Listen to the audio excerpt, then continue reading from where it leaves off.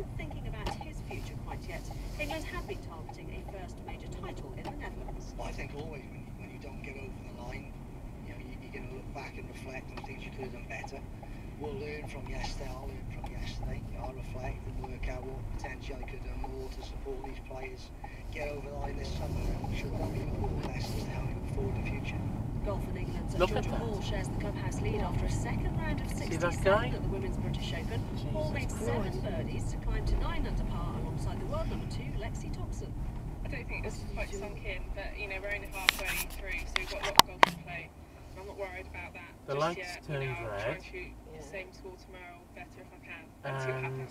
Georgia was on the that screen car in Tuesday. Hopefully we front brought her a little stopped. bit of luck. She's at the uh, So what he did, round. He went around the outside of that island to go down there. that he cannot defend his title in New York later this month because of a knee injury. The three-time Grand Slam champion joins last year's US Open runner-up Novak Djokovic on the sidelines for the rest of this season.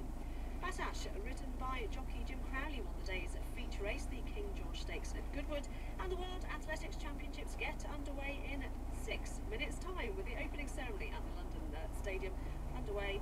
We'll be live there in the next hour. Carthy, thank you so much for that. Jules is here with the travel. Thanks, Mole. Northern Ireland. Jesus Lanes closed fucking with the accident on the M2 north. It's no wonder they're not- they're not- there aren't any more accidents. affecting you out of Belfast. Over to Scotland and the Highlands, the A96 closed for the accident, affecting you between Nairn and Inverness, so that's around the Raigmore interchange. A1 southbound still really slow down through Scotch Corner. Two lanes out for the accident now on the M1 northbound. It's between 29A and 30, Markham Vale and Worksop. Queues on the exit slip to the M6 and one lane block with an accident on the eastbound M54, so obviously at the M6 junction. M25 very slow both ways at 28 for the A12 at the Brook Street roundabout. Looks like there's possibly a set of dodgy lights there. Seems to happen regularly on that stretch.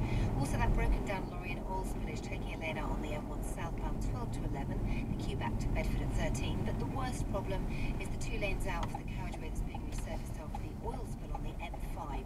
Northbound 21 to 20. That's Weston through to Clevedon. Three hour crawl back to 24 for Bridgwater. Weston Super Mare solid as well. Not much better on the southbound 15 to 23. Hour and a half of queues through there. And I had a call from Jenny. Looks like there's been another accident on the southbound stretch 30 to 31. That's the Exeter turn-offs. That's it. Back in half an hour. Thank you very much, Jules. Let's go to our next request. This is Just Jane get from up Barry. Good evening, Jane. Hello. Hey, Jane, where are you phoning in When from? they were available Hi, I'm here. on M5 at the moment, but we're on our way down to Plymouth, travelling over to France. Oh, it's something about Plymouth today, isn't it? It must be the, it must be the French connection. That's what it is. And what are you doing over in France?